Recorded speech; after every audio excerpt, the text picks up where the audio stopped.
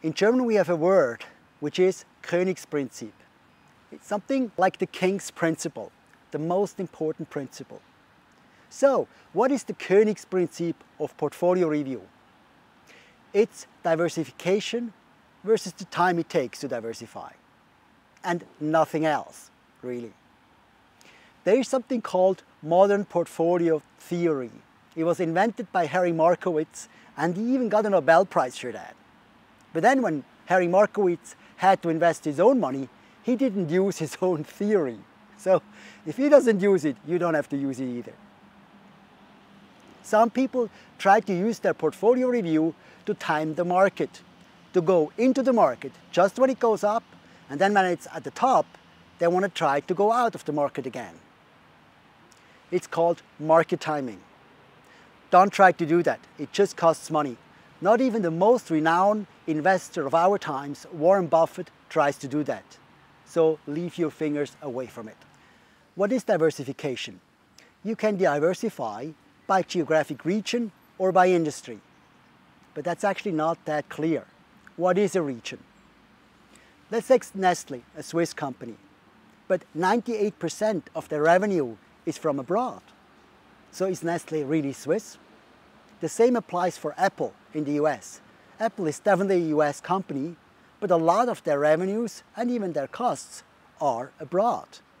So not really pure US American. And when it comes to industries, it's also quite difficult. I'll give you an example. Take airlines and buses, an airline company and a bus company.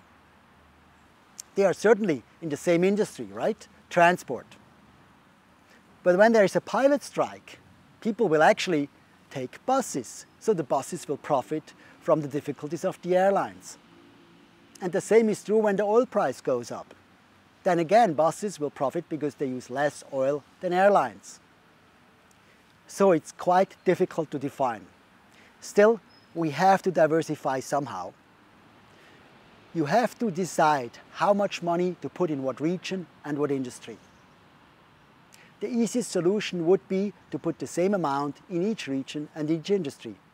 And the good news is there's an economist at UBS, his name is Klaus Wellershoff, who was the chief economist at UBS.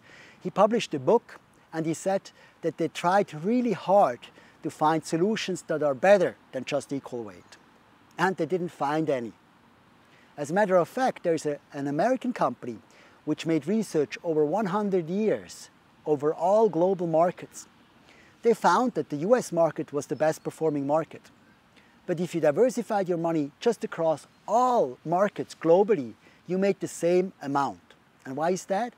Because countries like France and Germany, who had very difficult times during World War II and World War I, had then also a spectacular recovery, and you could make a lot of money there.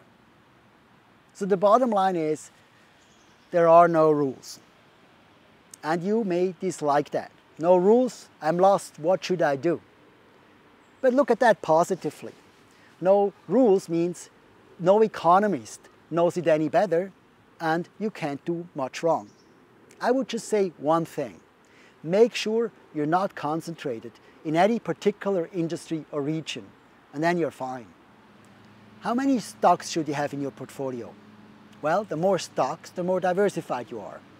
But you have to balance that against the time it takes to maintain your portfolio. Each stock, you know, sends you communication, and you have to list each stock in your tax return statements. Now, economists have analyzed this in detail. They found out you should have at least 30 stocks to be diversified. Better 40 or 50. Now that doesn't mean that, that you need 30, 40 or 50 stocks right away. You know, when you have an amount to invest, you start with one stock. But you don't invest the entire amount in that stock. You invest only 2, 3 or 4%. And then over time you build up a portfolio of maybe 30 or even 40 or 50 stocks. Many people do not have a large sum to invest at the beginning, and there it's even easier. I recommend to invest twice or four times a year. So you have an amount that you invest, that you save each year, and you invest that twice or four times a year. That means after one year you have four stocks, After two years, you have eight stocks. After five years, you have 20 stocks, and you move into a direction of being very well diversified. Some people are worried that at the beginning they're not yet diversified. But then you should remember that at the beginning, you have only invested a small amount of the entire amount you'll, you will invest in the future. So don't worry about that. The Königsprinzip of portfolio review in summary. First, make sure you have enough stocks, at least 30, and not concentrated in any region or industry. If you buy large stocks, it's even better because large companies are already diversified in their activities. And finally, if you have small stocks, only small amounts in stock, stocks, get rid of them because they are not worth the time. Remember, portfolio review is only about diversification versus the time it takes to do it.